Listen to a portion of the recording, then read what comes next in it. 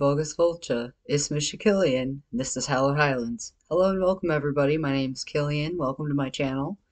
Um, today we are going to be talking about self-love and compassion. Um, I'm kind of on like a shadow work kick right now, and this is an aspect of shadow work that um, that I think a lot of us have a hard time with, um, loving ourselves. You know, a lot of us are very good at loving and healing and being compassionate to other people.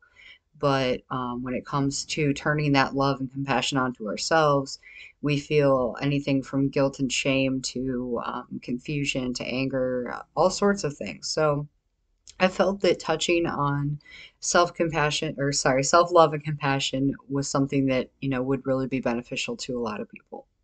So let's get started. So first thing I wanted to talk about was gemstones. I love gems. I have a ton, and um, it, it, I'm so sad that like I have a ton of gemstones, but for some reason, some of the ones I was going to show you for this video have disappeared. I have no idea where they are, so um, I will work with what I have.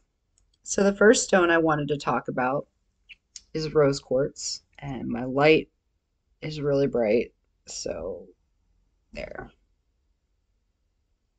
this really pretty big piece and I've got a little piece. I've got some other pieces laying around. These two are the most common. These are really good for self-love and compassion, uh, healing of the heart chakra. Um, they're also really good at helping you radically accept things that you cannot change um, while providing comfort and support. The next gemstone I want to show you is clear quartz. Clear quartz is great because it amplifies um, other crystals being used and um, it is really good for cleansing and for purifying and awakenings. It is also great for providing clarity and it is also a nurturing gemstone. So these are some pieces of clear quartz that I have. They're so pretty All right, put these over here. So now we're going to talk about Amazonite. And I wish I could find my big piece of it. This is my little piece.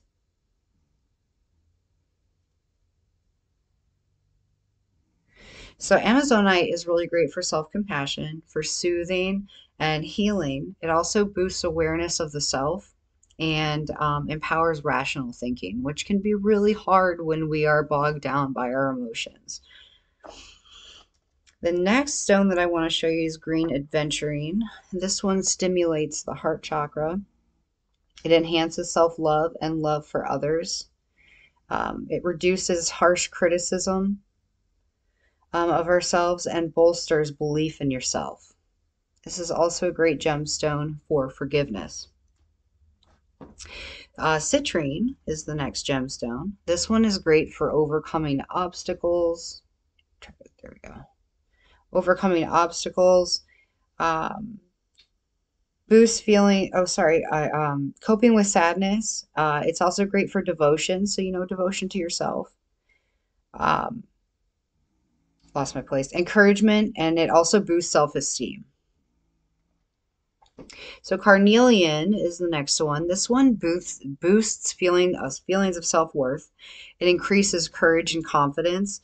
It helps remove blocks of the sacral chakra, um, which will enable you to be more sensual and to put you in touch with your senses and improve your ability to feel pleasure, which can be hard when when you're dealing with things like uh, depression and anxiety. Uh, the sacral chakra is also the creative energy center, so you may find that working with this gemstone helps you get more in touch with your creative abilities. Amethyst is the next gemstone, and this one is great for self-love. Let's not drop it. This one's great for self-love. It connects you to your higher self, your divine self, um, and really helps silence that monkey mind telling you that you're no good and this and that. Um, it can also be really good for guidance, releasing shame, um, and letting go of negative feelings. Amethyst is also a powerful stone for recovering addicts, so I wanted to include it in this because self love and compassion is something that um, recovering addicts really need to drill for themselves. Um, and I speak from experience as I am a recovering addict. I use uh, amethyst in a lot of my stuff because it, it, helps me. It really does help me um, stay strong in my sobriety. Uh, the next gemstones, unfortunately, I don't have any uh, samples to show you. But we have aquamarine, which is really good for self love, self compassion, coping with loss and grief. Um, it's a healing stone and it's also great for um, coping with emotional pain. Rhodochrosite, I don't know if I'm even saying that right, uh, is great for compassion and self love, healing, forgiveness. It's a powerful gemstone for trauma work. And then uh, rhodonite assists you in avoiding self sabotage, which is something that a lot of us do. I know I do it, and self destruction. It is a gemstone of self love, forgiveness, confidence, and it helps balance the yin and yang energies in the body. The last gemstone I want to talk about is alexandrite, and this one is really powerful for compassion for yourself, but also empowers shadow work and healing. So now we're going to get into herbs. And I honestly didn't go through my, my herb collection, um, but I have some of them in here. But anyway, whether you're looking to incorporate herbs in the tea you drink, supplements that you take, or the magic that you work, um, some great choices for um, for working self-love and compassion are peppermint, rose, lavender, and eucalyptus. And I'm going to go over I have my little script written out here. But um, peppermint reduces stress and promotes healing. Um, if you're experiencing any gastrointestinal discomfort due to your feelings, then you will probably find some relief from some peppermint tea. Um, rose promotes healing and relaxation, self love, and compassion, and it can also help you find balance. It also has a very nice scent to it. Lavender is another one that smells really great. Um, this one is soothing and relaxing. This herb actually has anti-inflammatory properties, so it can be helpful in, um, you know, help helping you with with pain as well. Like I personally like to smell lavender oil when I have a headache and really get that up in my head and help with the uh, inflammation. Um, lavender can also aid in reducing pain and promotes restful sleep. So then eucalyptus. Eucalyptus can help uh, reduce pain and is also a wonderful uh, treatment for respiratory concerns. Um, I know for me personally, I have asthma. And when I've been really sick, I take my eucalyptus oil in the shower with me so that way I can really get that steam and the eucalyptus into my airways. Um, let's see. And, and i said in here it's especially helpful for those of us with asthma um, especially as asthma is oftentimes worsened by stress anxiety things like that. So you can also incorporate numbers um, into your self-compassion and self-love work. You can um, i'm, I'm going to go over three numbers that are really great for self-love and compassion. But um, you can work numbers into how many candles you work with. You can inscribe the numbers into the candles and then meditate on them. Um, you can incorporate them by drawing the numbers onto slips of paper and adding them to a witch bottle. Um, you can also burn the piece of paper to activate it. There's a lot of different ways that you can use that you can use numbers. So five is the first number I wanted to talk about. Five is really great for freedom to make change. Um, it bolsters decision making abilities and uh, adaptation. It also draws upon the power of the five elements. So, six. Six is all about love and compassion. This number is greatly healing, um, it's creative and also harmonious. And then the last number I wanted to list was number nine. Nine is compassionate and selfless love for all, including yourself, uh, boost patience, and it also may aid you in accepting your full self, and that includes your shadow self. So it's it's it can be very key in self uh, or sorry shadow work. Next is sigils, and I do apologize before I show you this. I um I have the little sigils that I drew for this uh, in my notebook, and uh, on top of it, I had notes on what yarn I was going to buy. So you'll probably see that in a minute. But you can create a sigil for self-love and compassion and then use it in so many different ways. You can carve it into a candle. Um, you can uh, to activate them you can meditate on the candle from there soak up the energy that it emits and visualize yourself being um, more loving and compassionate towards yourself um, i totally jumped to the next section when i said that um, but but you can add uh, i already said that so i'm going to show you these are little sigils that i came up with just on the fly for i love me and this one down here is obviously the most simple. It's just me inside of a heart. But you can create different sigils and then you can carve them into candles. You can, um, like I said, put them on little pieces of paper and add them to your witch bottle. You can paint it onto the bottle. Um, you can burn it in a cauldron or some other fire safe um, space. um, and then that kind of goes into candles. Um, with candles, you can use sigils. You can also carve runes into them. Um, you can dress them with different oils and herbs, depending on um, you know your intent, which here is self-love and compassion. Uh, let's see. One thing you can do also with with the candle is meditate on the candle after you've you know dressed it and carved and done all that, and visualize yourself being more loving and accepting of yourself. You know, really paint a picture of what that looks like. So moving on, um, altars. You can set up a self-compassion and love altar.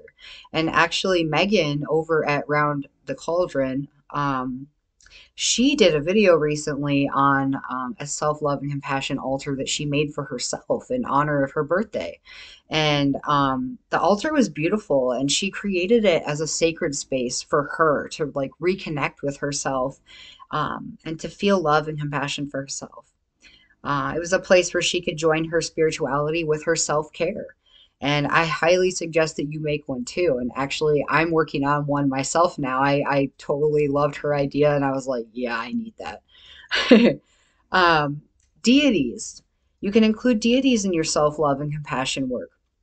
This is a great way to add power to your work. Uh, and then also, it's a great way to bond with the deities that you work with make sure that if you are asking them for support that you're also giving them something in return to say thank you. Um, whether it's their favorite flowers or herbs food or drink or something that maybe you've made your time and your effort even. Um, one of my favorite ways to serve my the deities that i follow is by doing things like this by teaching. I love to to give my time to the deities that i work with so I personally work with the Irish and uh, Norwegian pantheons of gods. And um, when I need to be met with love and compassion and understanding, I personally go to Freya. She is a goddess of war and death, of save and beyond, but she's also a goddess of love. Her and I have been working together and deepening our bond for years now. And, um, you know, she is the one that I feel most comfortable going to when I need love, compassion, understanding, and guidance. So work with your, your deities. If you don't work with any deities, that is okay. Um, I go, I think I, I went into that in another video, or yes, the 11 things that I wish I had known when I was a newbie. It's okay to not work with the deities. So if you don't, just skip that section. Ta uh, talismans and amulets are also super helpful. Talismans are items that are normally inscribed with a message, sigils, runes, or other symbols um, to bring the wearer protection, direction, um, and more, depending on the message and the symbols used on the talisman. A pendant with a pentacle surrounded by runes is a good example of a talisman. Amulets are very similar to talismans, however, they do not have inscriptions. So, a good example of an amulet would simply be a gemstone pendant. So, just wearing this on a necklace is an amulet.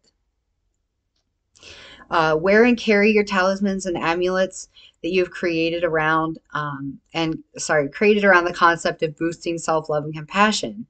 This is a great way uh, to choose a gemstone um, that the, the vibrates with the energy that you want. So again, any of the gemstones that we went over in the beginning of this, and there are other gemstones that are great for, for self-love and compassion that we didn't go over. Witch bottles. So I already showed you this one a little bit. This was the grief, um, the coping with grief witch bottle that we did in another video. Um, witch bottles are a great way to work your magic no matter what your intent is.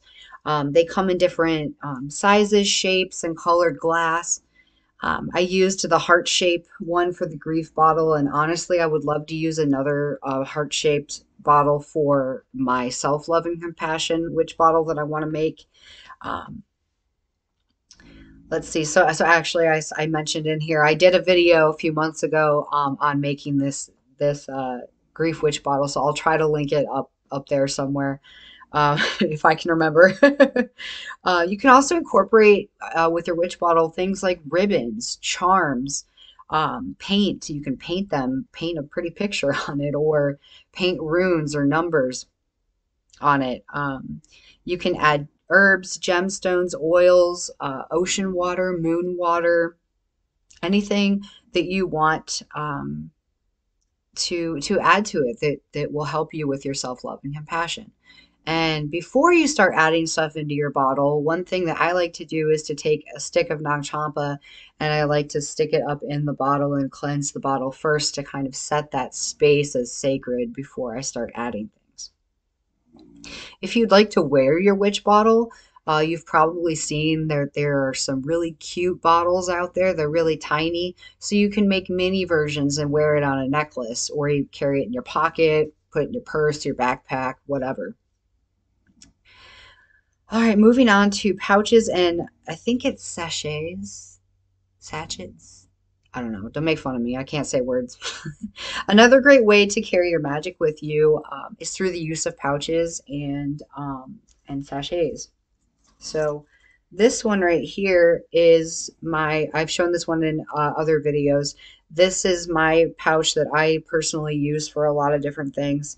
Um, I'm pretty secretive about what is in this one in particular, but I like to wear it. And then also when I sleep, I sleep with this under my pillow. um, you can choose herbs and gemstones that correlate with your intent of boosting your love, love and compassion for yourself. Um, you can add sigils on paper, maybe even affirmations on paper. Uh, get creative. Fill your pouch or your sachet with items that will help you feel more loved and help you feel more compassion for yourself. Everyone's is going to look different. After making your pouch, you can wear it, you can carry it around with you, or like I said, put it under your pillow when you sleep. Um, these also make these and witch bottles also make great uh, decorative pieces, like just laying around. They look beautiful. Um, and so if you're kind of like a little, may, maybe in the broom closet or maybe a kind of halfway out, um, you can have these things on display and be like, oh, it's just decor. um, all right, so moving on into self care. Self care can be really hard, especially when you're triggered. Um, but I wanted to go over just a few little things that you can do for yourself. One, take care of your basic needs. So that means if you're thirsty, drink some water or drink, hopefully, water. Drink something if you're thirsty. Eat if you're hungry. If you're tired, sleep. Um, you know, take, just take care of your needs. And that goes into self soothing as well. Use your senses to soothe yourself. So, uh, sense that you find relaxing, or um, maybe um, I like my cat's right there.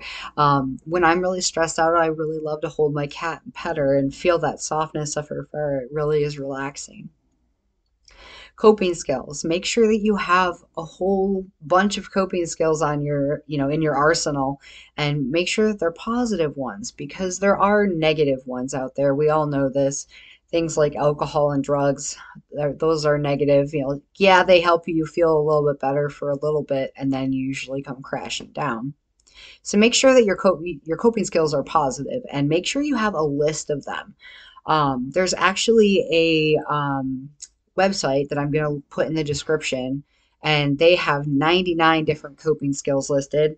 I talked about this in my shadow work uh, video and probably several other videos that I've done. Also, take time out for yourself, and this can be, you know, spend time on your hobbies, meditate, stretch, do yoga. My dog is uh, barking in her sleep. uh, other physical activity. Consider making affirmation cards. So these, a lot of people are like, "Oh, that sounds dumb," or uh, "That sounds cringy," or whatnot.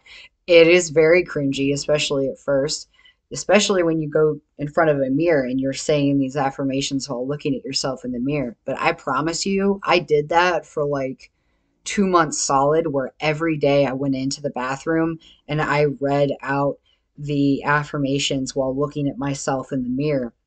And at first, it was almost unbearable. It was cringy. It was awkward. It was uncomfortable. But when we're uncomfortable, we grow. And um, I eventually was able to start saying the things on the affirmation cards, one, without even having to look at the card, but two, really feeling it and believing it. So practice affirmations. Um, let's see, balancing time with friends and family with alone time. Make sure that even if you are more extroverted and you like having people around, that you are taking time out for yourself and that you're taking time to just kind of be alone. Um, there are things that we can get done when we're alone that are much harder to do when we are around other people. And that is like our self work, our introspection and shadow work. Pray and meditate. I cannot stress this enough. Um, and, and again, if you if you pray and you are asking for something, please remember to thank whoever you're praying to and give them an offering of some sort. The last thing that I wanted to go over was moon phase. So syncing with uh, not only the moon phase, but syncing with just the flow of the, the universe can really help you with your self-love and compassion. So during the new moon, this is a really great time to set your intentions and to take time to perform introspection or looking deep within yourself and really getting to know who you are. The waxing crescent is a good time to manifest and to start acting on the intentions that you, you set during the new moon. The first quarter is a great time to strengthen your commitment to your goals and really build on them. Uh, the gibbous moon is great for coping and expressing your feelings, as they may be very intense at this time. very common. Uh, visualize your goals and maybe even plan the steps that are, are needed to reach those goals. Let's see, I totally lost my space. Um, oh, and attracting what you want. Now, the full moon is great for all sorts of types of magic and spiritual work. Emotions are very potent at this time.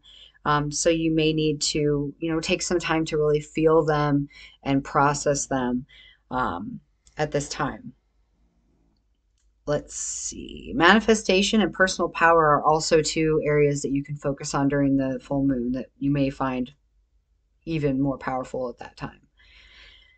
All right, so waning moon. Focus on pushing things away from you or releasing things that are no longer serving you. Third quarter, let go again. If whatever's not working, let that go. Don't do that anymore. And free yourself of anything that is weighing you down. And lastly, the waning crescent. Focus primarily on your own healing, rest, and reflect. So, thank you for being here with me today. It was a joy to have you. And thank you to my patrons over at Patreon. Uh, you guys rock. And without you, I wouldn't be able to do my YouTube. So, I really appreciate your support.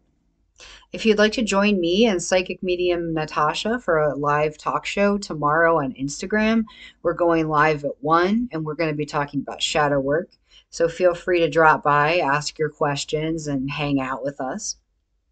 I'd love to hear your thoughts about this video in the comments too. Um, and also, I'd love to hear what kinds of questions you you have in general. What uh, what topics would you like me to cover in my videos? I really want to make content that you want. Um, and then quickly going back to the live tomorrow, um, if you have any questions about shadow work that you would like answered during tomorrow's live, please feel free to drop them below in the comments. Um, I would love that. I know Natasha would love that too. And um, I'll also link Natasha's uh, YouTube in the description. If you'd like to do some shopping, head over to hallowedhighlands.com. I've got lots of awesome stuff over there. And then if you would like access to in-depth teachings, psychic readings, behind the scenes, and discounts, you can sign up for my Patreon. I have two tiers, a $5 tier and a $10 tier. Um, and yeah, I think that's all I have for today. But I love you guys. Take care. Please take care of yourselves. And I'll see you in the next video. Bye.